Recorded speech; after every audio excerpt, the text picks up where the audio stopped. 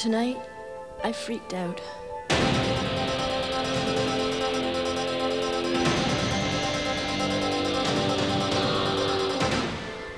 I was desperate. I ripped my room apart. I had to find one.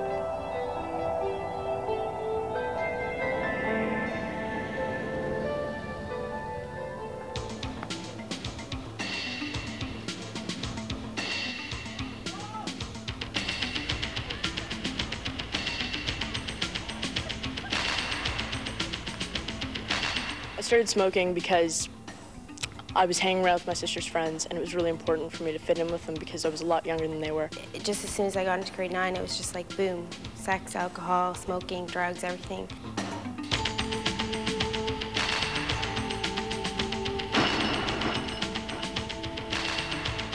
I was with a few of my friends, and uh, we were at a party, and we were just, you know, walking down the street, and she handed out cigarettes, so I just took one like everybody else. Started smoking because my mother had always said not to be like my brothers because they always smoked and uh, they were sort of like just bad, whatever. And so I just decided, I guess I did it to be a rebel, I guess.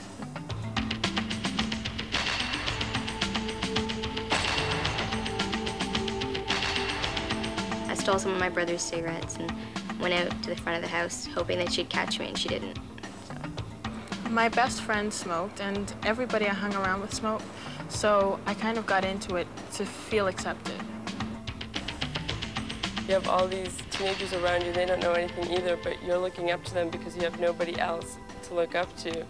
And so you think they're the answer. And they look great, so you want to look like them. So you take the cigarette. There was a certain place at school where everyone who smoked hung out. You didn't even have to talk. You could just ask for a light or a cigarette. I hated the first one, but it became part of my routine, of who I was. I remember it vividly. It was my very first day of grade nine, and I was called down to the guidance counselor for guidance and counseling.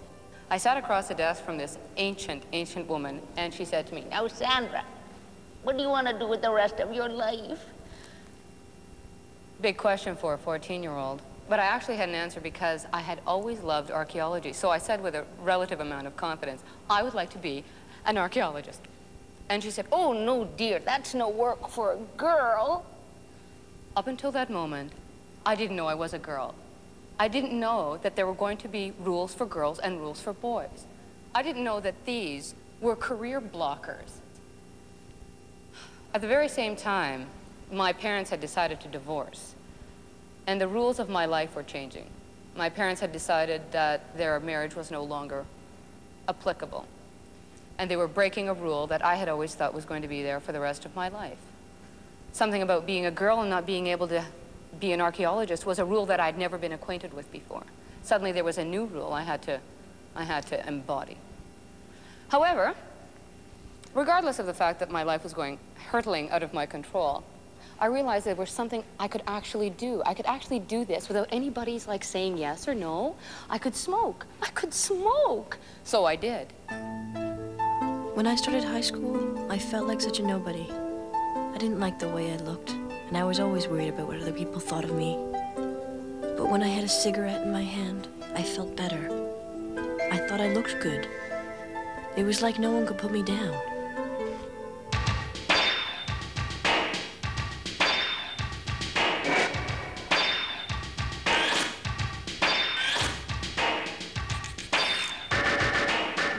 Smoking, it was it was kind of important for me to see myself and the way I looked with a cigarette in my hand. So I'd, I'd practice in front of the mirror when my parents had gone out just to see the image you know, the way I looked. I think the images that guys have to look up to is something like a James Dean image, and the images that we girls have is, are like sexy models.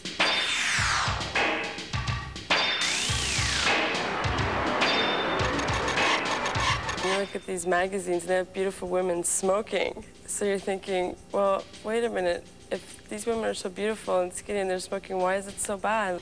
Women who have come a long way, that has nothing to do with smoking, and they just, they take advantage of, of how much women have done over the years to advertise cigarettes, and I don't think it's fair, and I think it's sexist.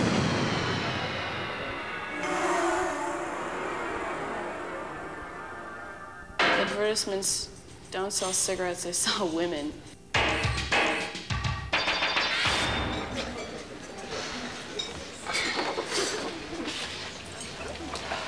Derek, something you said in the meeting today. Your suggestion that we target young women in the new cigarette campaign. Yes, Lorette. Let me explain an unspoken rule we have in the tobacco industry. We don't encourage young women to smoke. Uh, yes, but my su suggestion was based on some very important market research. Yeah, yeah, yeah, yeah, yeah. We've all read that. Young women buy a lot of cigarettes. Many women do. But we don't encourage them to smoke. We really don't have to. I'm afraid I don't understand. Look, what is it that our advertising has spent the last 70 years convincing women smokers? Uh, that the woman who smokes is an independent person in control of her destiny. Exactly. Independent and sexy. And isn't that what every vulnerable teenage girl desperately wants to be? Yes, but isn't peer pressure a significant factor? Don't be naive. The pressures on women of any age are much greater than that.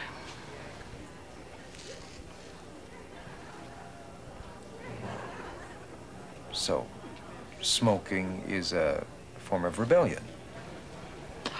It doesn't matter to us whether women smoke to rebel or to belong. Either way, we do just fine. Anyway, if the campaign is so successful, I suggest we leave it the way it is.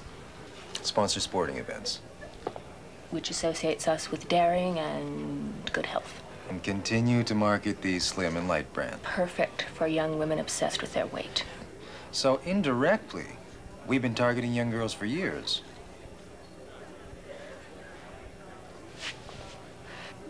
What about your lunch? This is lunch. I gotta go.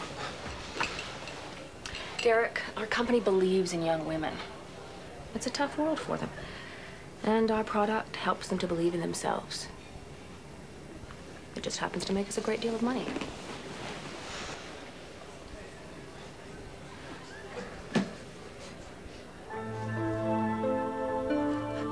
It's strange to think that I used to smoke because of how it made me look. I don't care about that anymore. Now I just do it. Yesterday, I wanted to get my mother a present, but I ended up buying cigarettes instead. I'm so tired of always being broke.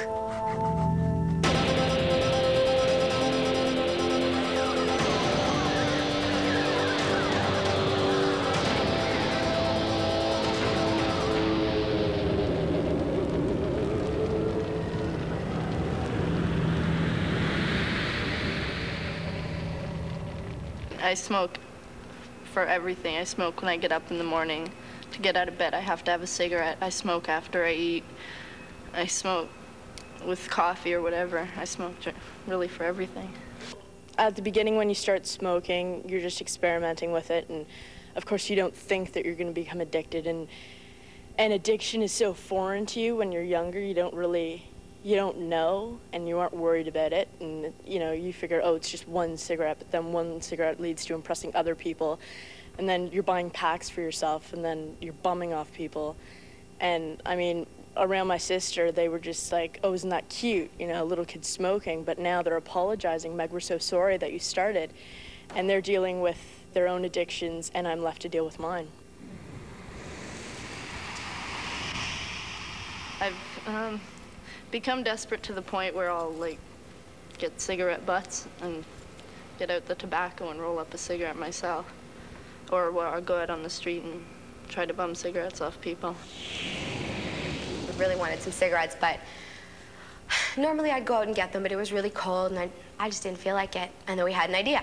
Let's order a pizza with nothing on it and order like four packs of cigarettes. But we found out that you had to have something on it. You can't just have like plain dough. So we ordered a plain pizza with nothing on it, just cheese, and four packs of cigarettes. Smoking is a contradiction because it, it you make it you think that you're controlling the cigarette because you're buying it, it's your money, you're smoking it when you want to make you feel good or to make you feel relaxed.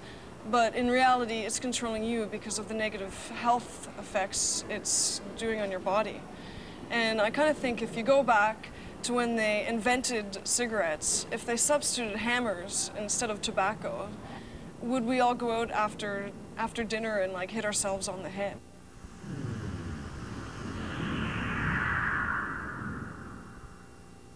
You know, when I was young, the idea of addiction never occurred to me. I mean, I think the sum total of what I knew about smoking at the time was that it was bad for you and that it uh, stunted your growth.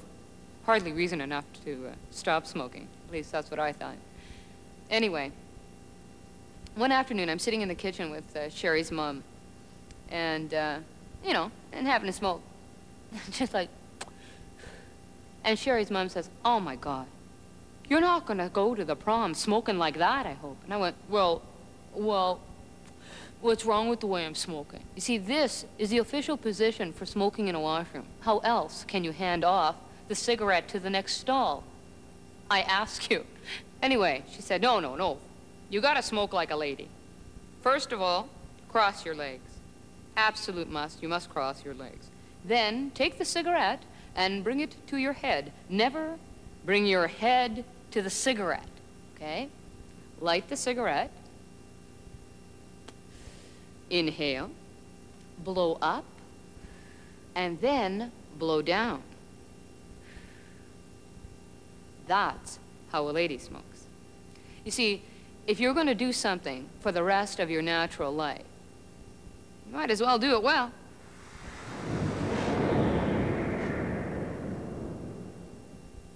There's two things I depend upon most in the world, and one is my inhaler, the other are my cigarettes. And the mix of them both, just having asthma and smoking, makes me really susceptible to throat infections and stuff, so it's not too good. When my mother was pregnant with me, it was in the early 70s, and she was in her late 30s. So back then, they didn't have any warnings about uh, smoking being a risk during pregnancy. So unfortunately, I was born about two months early, and I had to stay in the hospital for another month because I had lung problems and heart problems and eye problems. Two of my friends smoked regularly and they were on the pill, and um, they went to the doctor or something for a checkup or something, and they found out that they had blood clots, I think in their leg, a blood clot in their leg, and I was really surprised, and I was kind of angry because I didn't realize that that was even possible. Unfortunately, I've had bronchitis three times this year alone.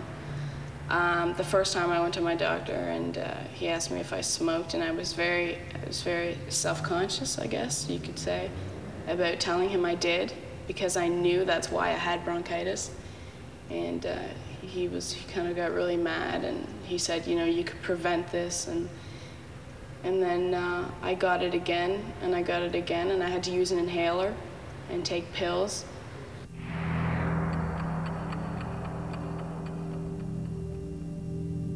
Well, when I realized, I guess, that I was a smoker, I guess I was kind of concerned, sort of, about my health, thinking that, well, my grandma has lung cancer. I might get it, but I guess I thought I'd quit before.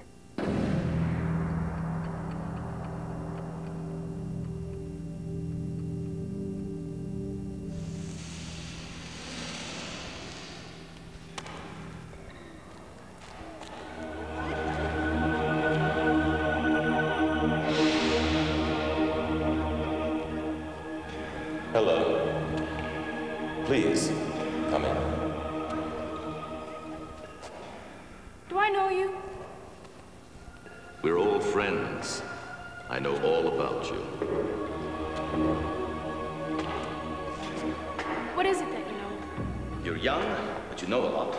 But no one seems to recognize that. You're trying to see who you are in the midst of a lot of people who are trying to tell you how to be. Much of what you see around you makes you angry.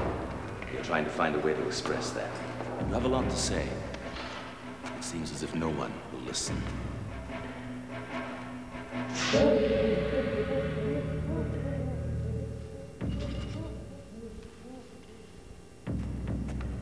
How do you know all this? It's my business to know. Why did you want to see me? The agreement. Well, surely you remember.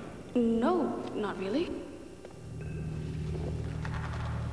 You wanted to appear more attractive, to, to look old, feel stronger. You wanted power, and that's what I gave you. I just wanted to be myself. Perfectly natural. And did it work? For a while, it felt like that anyway. And now, naturally enough, I want something in return. What? Your lungs. Oh, please, don't be alarmed. Not very much of them, and certainly not all at once. It'll be a gradual process over a period of, oh, 20 or 30 years. For a long time, you'll only notice a slight cough, a shortness of breath. Hardly a bother at all. But it says other things too about strokes, heart problems, cervical cancer. This is awful. You really should have read the fine print. I never signed this. Just a formality. You can't hold me to this. You can't hold me to something I never signed. True enough.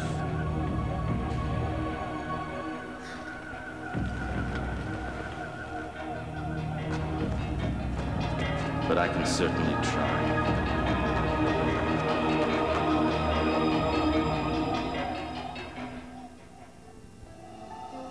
I smoke way too much.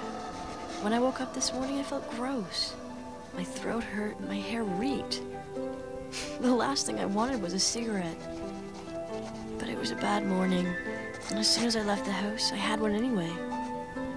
I guess that's why I had the nic fit tonight.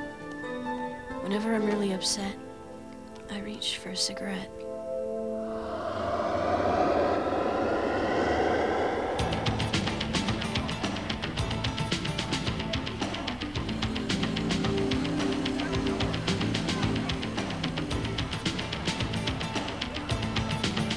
Lot of my friends, or a lot of poor people smoke, and a lot of my friends are really poor. So the smoking kind of helps relieve the tension of being poor.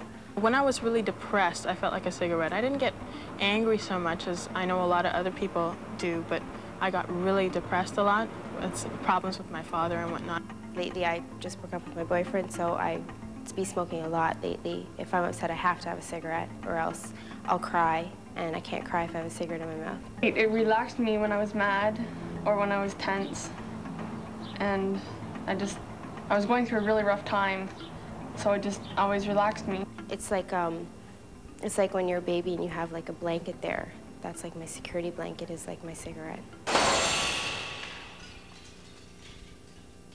You know, in retrospect, I used smoking to draw certain people towards me and to repel others. And it wasn't actually until I uh, got older and I started to grow up that I realized that I wanted more people near me than the select five who smoked their heads off um, in my world. I wanted other people to come towards me. I wanted to become part of a community. Um, I was really tired of being isolated, and I had isolated myself in more ways than just smoking, but smoking was certainly one of the ways that I did it. I remember realizing that I was addicted to smoking the day I tried to quit. And I'd never seen myself the way that I was the day I tried to quit smoking. It was so distasteful of me that I had, I had to smoke immediately right after that. However, I did quit. I did stop. People did come towards me, not in droves, but they came. The people that I wanted to. I actually have a life partner who uh, has asthma. I realize now that if I smoked, I could not be with him. It's not worth, it's not worth it. I want to be with him more than I want to be a smoker. So that's it.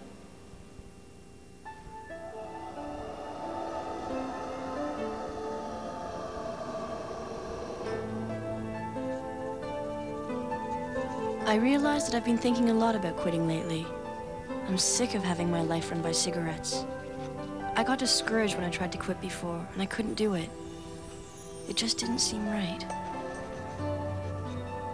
But now it, it feels different. I don't want to smoke anymore. I really want to quit this time.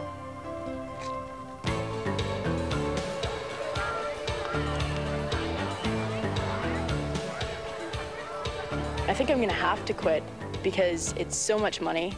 It's a waste of money. I mean, I'm burning my allowance on it.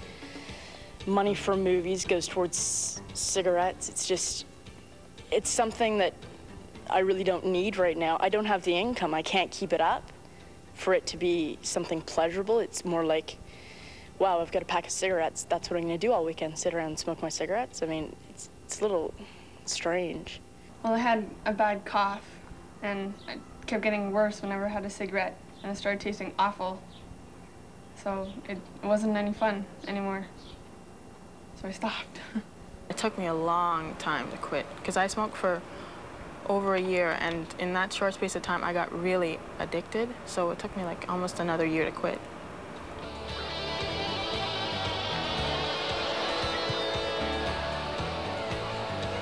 My family was really proud of me when I had quit before, which was last year. And um, I didn't tell them that I started smoking again be because they were so proud. And my grandmother was actually the one person who was really proud of me. And so I'm, I'm actually pretty close to her. And we were going up to her house for the weekend. It was up at the cottage, and she was going to be up there. And I didn't really have any money that weekend, and I finished my last cigarette at the donut shop before, like right after school before we went up. And so I just decided not to buy anymore. And you have to have enough confidence in yourself to say to yourself, I can do this, I'm a strong enough person and I want to do it. But nobody else can make you quit smoking.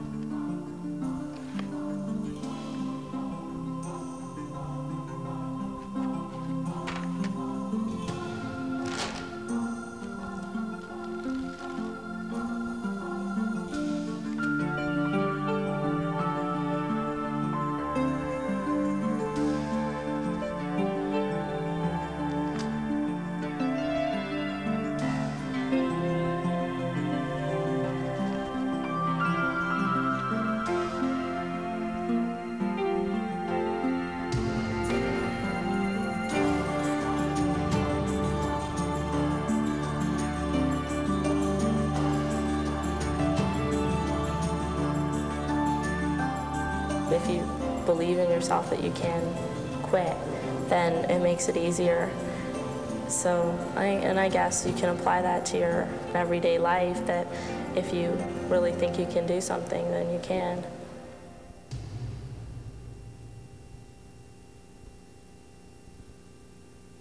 Since I quit smoking, I feel a lot better about myself. I have more energy. Um, I'm not as tired as I used to be, and I just I just feel better about myself. Like I, I'm proud of myself for quitting. It's like something that I've accomplished that I'm proud of. I don't think I'm perfect. Like I, I can point out all the flaws in myself, but I think I'm okay